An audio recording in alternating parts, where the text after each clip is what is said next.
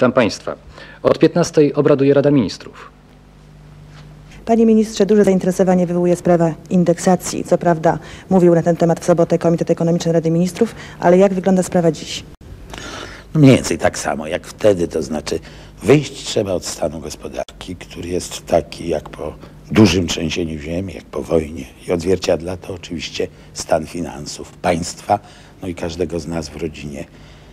Gwałtowny wzrost cen uderzył we wszystkich. I teraz problem, wszyscy się oczywiście tu buntują, żądają, żeby to powstrzymać. Najprostsze byłoby zamrozić ceny. No ale by to znaczyło, że wracamy właśnie do tej całej polityki i gospodarki, którą tu przed chwilą porównałem do trzęsienia ziemi czy do wojny.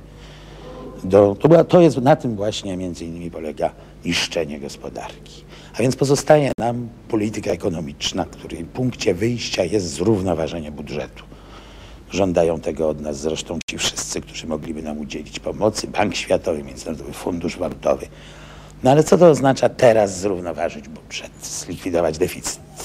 No, na dziś szacuje się ten deficyt na 5 bilionów złotych, ponieważ wypłaty z budżetu, wydatki budżetu zawsze w ostatecznym rachunku się trafiają do naszych kieszeni, to można by tak powiedzieć, że by zlikwidować ten 5 bilionów w tych trzech miesiącach, które nam pozostały, to w tych trzech miesiącach każdy, każdy dorosły mieszkaniec kraju musiałby zrezygnować z 240, 230, no gdzieś koło 200 tysięcy złotych.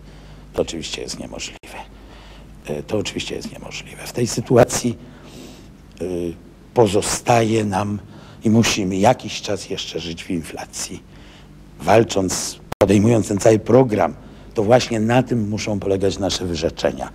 Tylko chodzi o to, żeby one były sprawiedliwe. Nierówno, nie, nierówno. Bo to nie może takie same koszty ponosić ten, który żyje na granicy nędzy i ten, który ma pełno pieniędzy, jak na przykład ostatnio ja jako minister. To musi być jakoś rozłożone. I w tym kierunku idziemy indeksacją. Różne tu podejmiemy kroki, ale w tym momencie chcemy iść tylko o indeksacji.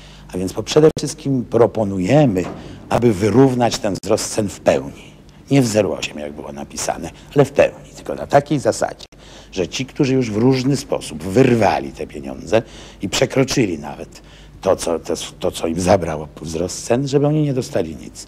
A wszyscy do pełnego, do tego do pełnego wyrównania, czyli ci, co wcale pełne wyrównanie, ci, co pół, pół wyrównania i tak dalej. I to w tym kwartale, za ten trzeci kwartał. Natomiast w czwartym kwartale, ponieważ ceny będą rosły dalej, nie ulega wątpliwości, że gdybyśmy czekali do końca kwartału, to wiele, wiele rodzin pogrążylibyśmy w nędzy. I w związku z tym trzeba wyrównywać co miesiąc w jakiś taki bardzo uproszczony sposób taki sposób, który by pozwolił tę indeksację co miesiąc robić. I to jest jakby w sprawie indeksacji. No, trzeba powiedzieć, że w ogóle indeksacja jest rozwiązaniem złym. W przyszłym roku będziemy się nad nim od nowa zastanawiać, razem z całym szerokim programem uzdrowienia gospodarki. W tym roku oczywiście to nie wszystko, bo tu jest sprawa emerytów, rencistów, bo tu jest sprawa różnego rodzaju świadczeń. I o tym wszystkim, i o całym tym programie indeksacji jeszcze mam nadzieję rozmawiać z Państwem jutro po dzienniku. Najważniejsze jest jednak to, aby wysiłek, który podejmiemy wspólnie, bo to wszystko leży w naszej mocy, rozkładał ten ciężar sprawiedliwie. Dlatego między innymi mówimy o podatku wyrównawczym, który by sięgał wszystkich tych, którzy przekroczyli dochody powyżej 3,5 miliona jakiś tam podatek oni by musieli w zależności od dochodu płacić, a wyłączeni byliby ci, którzy ze względu na dużą ilość dzieci spadają poniżej takiego poziomu, który jest dopuszczalny. I to na dziś tyle.